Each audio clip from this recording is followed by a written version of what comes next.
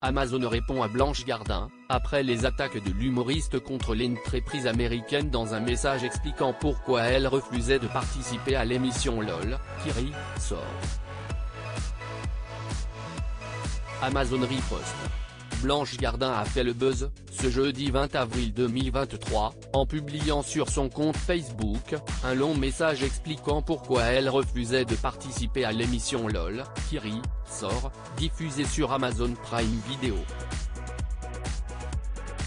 Il se trouve aussi que je serais gêné aux entournures,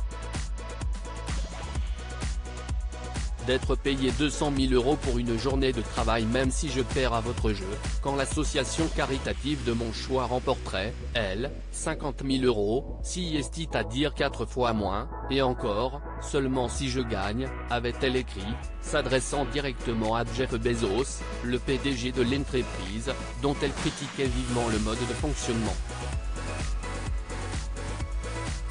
Des critiques qui ne passent pas vraiment. Amazon répond aux critiques de Blanche Gardin. Ce week-end, un porte-parole d'Amazon répond aux attaques de Blanche Gardin.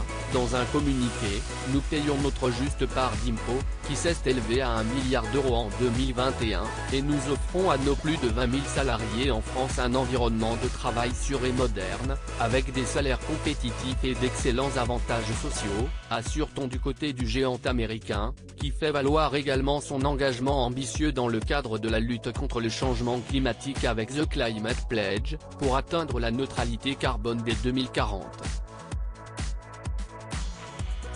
LOL, Kiri, sort.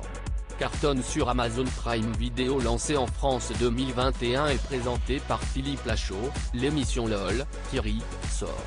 A été adapté d'un format japonais dans plusieurs pays à travers le monde. Dans ce concept, une dizaine de comédiens invités à passer la journée ensemble doivent tenter de se faire rire les uns les autres, tout en gardant leur sérieux. Le programme a su convaincre le public, mais aussi les stars. La troisième saison, diffusée ces derniers mois sur Amazon Prime Video, comprenait un casting 5 étoiles composé notamment, Leila Bekti, Jonathan Cohen, Virginie Efira, Paul Mirabel, Géraldine Nakache ou encore Pierre Ninet. À lire aussi Blanche Gardin explique pourquoi elle ne veut pas participer à LOL, Kiri, sort.